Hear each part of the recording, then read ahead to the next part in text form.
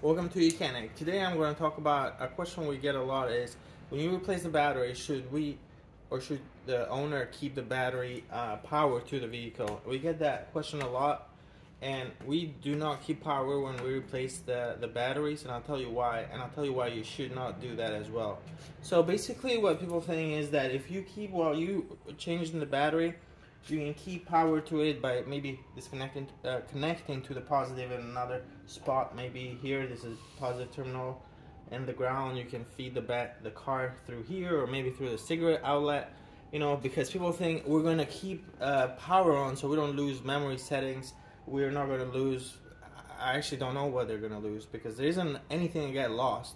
Uh, when you uh, disconnect the battery the things that do get lost is maybe like your windows um, one touch button or in some older cars like the radio code but those are things that uh, are very easy to synchronize your windows and enter your radio code compared to the fact that you might accidentally cause a lot of issues to your vehicle if you do keep power to it. Uh, the way that you cause issues is uh, one is if you're going to keep power to it, a lot of times you may be using like uh, another jump box. That jump box might only have like 9 volt you keep that connected to the car and you know if you especially if you turn on the ignition that low voltage is gonna throw a bunch of codes and a lot of modules especially if you got european cars. You're gonna have low voltage like several low voltage codes in various control units. Some of them will clear once you reconnect a fully charged battery but things like the airbag codes in the airbag module even if it's low voltage they won't clear, you need a scanner. You could use the YOUCANIC scanner to clear those codes, but you just cause uh, problems to yourself.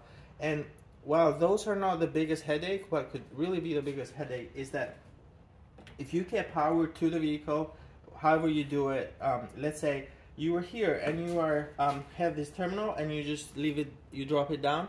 If that accidentally touches the frame, you just short it, and it, the the smallest damage is going to be like you just probably blew a fuse, but you can also fry a control unit. You can ruin your ignition. You can uh, ruin your ECU. Who knows what? And the other thing is that if you do keep power to the the second reason why you don't want to do it, if you keep power to the car and you're putting this positive right here, and let's say maybe I have a longer wrench when I'm tightening that and I accidentally touch there, then it's the same thing. You can cause a lot of damage. So the things that you do have to program um, afterwards, like the key, the key is not going to lose its memory.